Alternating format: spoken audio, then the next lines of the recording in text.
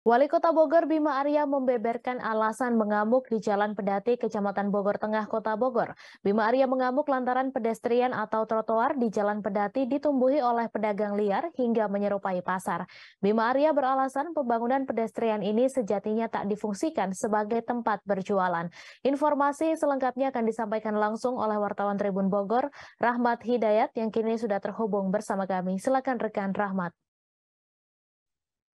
Ya baik, uh, rekan Mei dan rekan-rekan Tribuners lainnya dapat kami sampaikan bahwa memang uh, pada hari kemarin Senin uh, 2 Januari 2023 atau awal tahun 2023 Wali Kota Bogor Bima Arya Sugiarto mengamuk di Jalan Pedati, Kecamatan Bogor Tengah, Kota Bogor.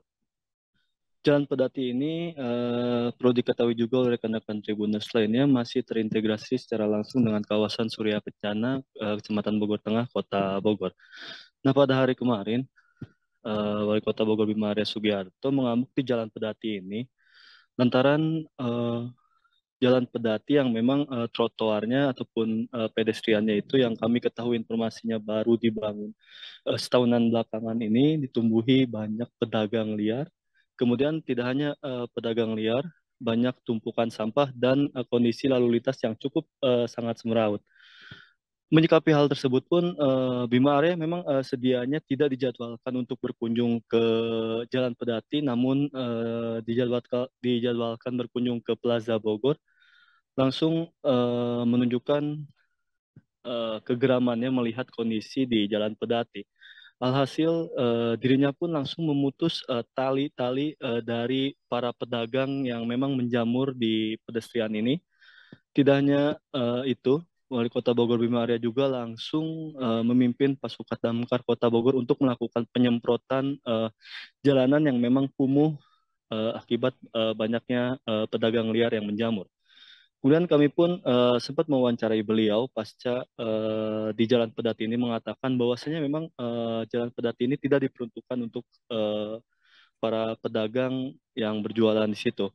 Dan alhasil uh, Bima Arya pun menegaskan untuk uh, pihak aparatur pemerintahan setempat untuk mengawasi Jalan Pedati ini yang di mana memang uh, sudah disiapkan konsepnya uh, untuk dilakukan penataan uh, penataan para pedagang sebetulnya berdasarkan keterangan yang kami dapat uh, dari Bimaria uh, pasca kunjungannya ke pasar pedati tersebut.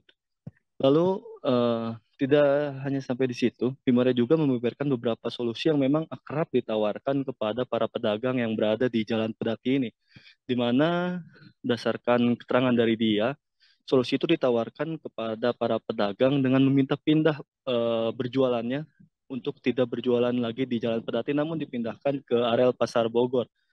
Hal tersebut memang sudah dilakukan oleh pemerintah Kota Bogor dan melakukan uh, solusi tersebut dan solusi tersebut pun kembali lagi ditawarkan pasca uh, Jalan Pedati ini dilarang untuk uh, para pedagang kaki lima yang memang uh, di areal tersebut banyak yang berjualan uh, buah-buahan dan sayur sayuran.